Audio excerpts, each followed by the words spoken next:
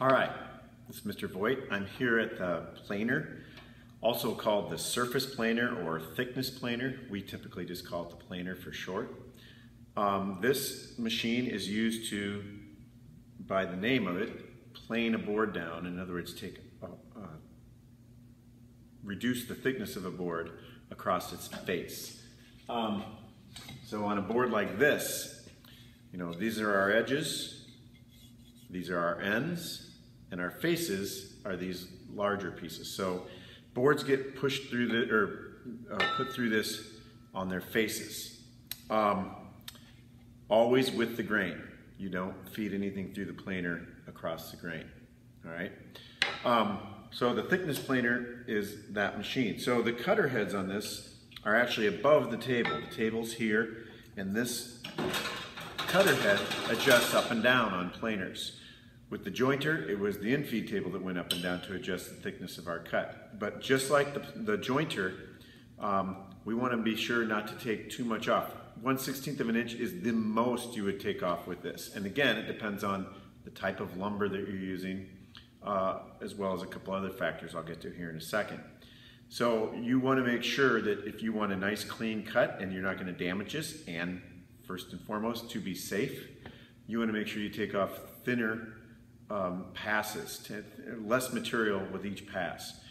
I would say a 32nd of an inch, uh, at most a 16th of an inch with, with softer materials. Now, other factors that play into this, so the, the type of material you have, the harder the lumber, the less you want to take off. The wider, this is about a 14 inch planer.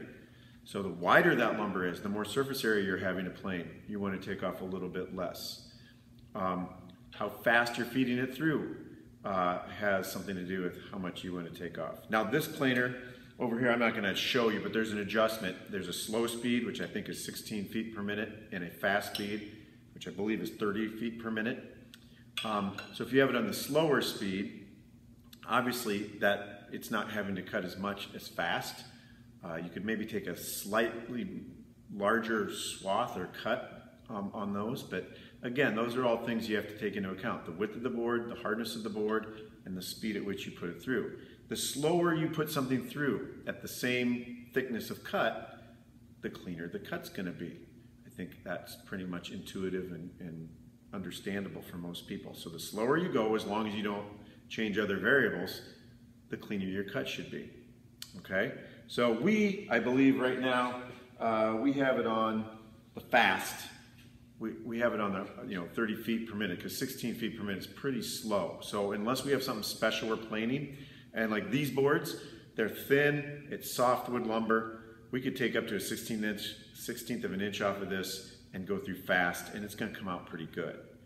If we have a wide board, you, know, you, get the idea. A wide board that's hardwood, hardwood lumber, we're going to want to slow it down um, and take less off each pass. Okay. So typically you want to make sure everything is on this machine before you start using it. Right now, uh, I have uh, something wrong with our, with our vacuum system and I had to take um, our, our guard off here. This typically collects dust on this back side and makes it so people can't you know, put their fingers in there and then it would attach up here. Um, we have to take really a lot of caution, or use a lot of caution uh, in using this at this point. We, we're going to use it very rarely. And then, of course, we got to sweep everything up because it just spits all the, all the shavings out the back side. So you really want to make sure that all everything is in place before you start using this um, piece of machinery. Like all machines in here, you really don't want to stand behind uh, what you're feeding in. Like on the table saw, you're not supposed to stand right behind the blade or right behind the board you're cutting. If it kicks back, then it could hit you. Same rule applies here. Um, if you have a partner sitting on this side who's taking what's coming through, then they take that board and you do not pass it over the motor. You pass it around the side of the motor, okay? Um, so that you're not running things over the top. Now there are some planers that have a roller up here, so you can roll things back and forth. If you have one of those, obviously you can use it and pass the lumber that, that way.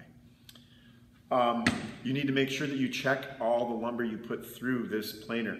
You don't want to put anything that has a finish on it, like paint or varnish or polyurethane. Those dull, that dulls the blades very quickly. You want to, any lumber that has a lot of dust or dirt on it, You want to get as much of that off as you possibly can. Obviously, we don't want nails or other pieces of metal. It chips our blades, and when we chip our blades, um, it starts leaving you know streaks in our plane job, uh, which we really don't want. Plus, those blades are you know 150 to 200 dollars to replace them. Even if I got to take them off and, and get them honed down and sharpened, you're talking $50 plus my time to do it. So we really want to try not to dull these or damage them. Okay? Um, there are, the cutter heads, as I said, are on top. So we lower this down a little bit each time.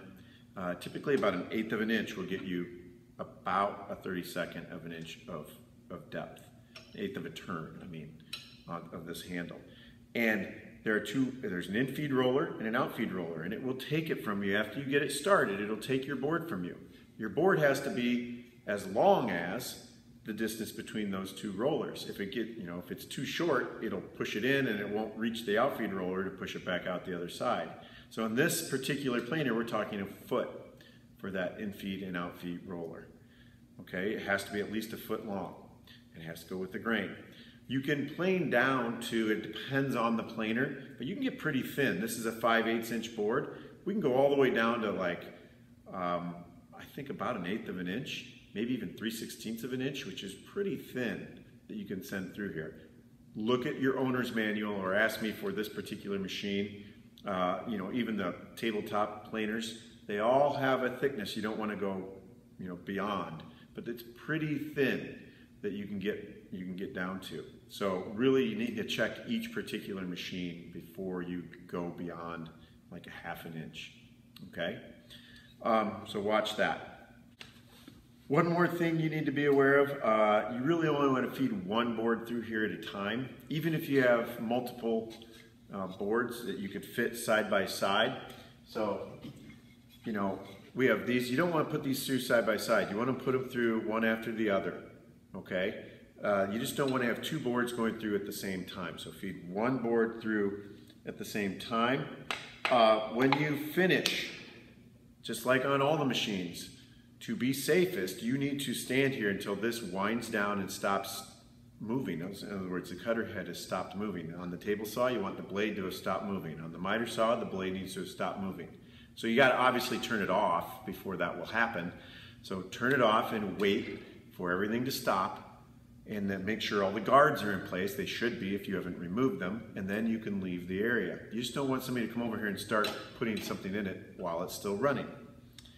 Okay, and I did mention the off bearer earlier, the person that's on this other side, that's your partner. Their job, just like it is on all the equipment, when you have a partner or an assistant helping you, or somebody we call the off bearer, their only job is to hold material so that it doesn't put strain on equipment or you don't have to hold it while you're pushing something through a machine.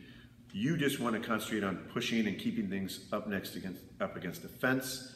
Um, you don't want to have to balance a long piece. So all they're doing is holding it and letting the operator or the machine push it through the cutter heads or the blades.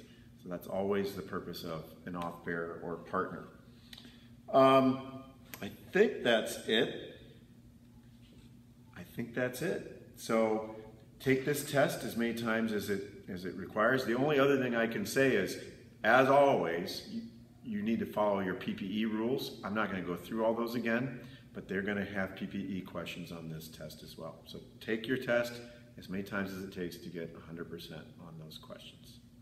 Guys, thanks.